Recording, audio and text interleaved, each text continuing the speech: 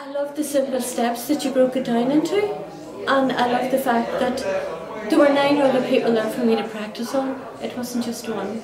Yeah. So it, everything was reinforced, and I know that that's what I need, and that's why I came here. I wanted to build my confidence, and now, just I feel so much freer and so much more trusting of myself that I can do this. Brilliant. I can- It, it is fantastic training. It is just it met it did everything I wanted it to do. It is totally there's no pressure on it, and usually I would be very shy about putting myself forward in front of people. But as the day went on, I just felt that reservedness and that fear gone. You know, and just I was I was here to learn, and I wanted to learn, and therefore I wanted to do as much as I could. Wow, brilliant. Thank you. Thank you very much. Thank you. Yeah.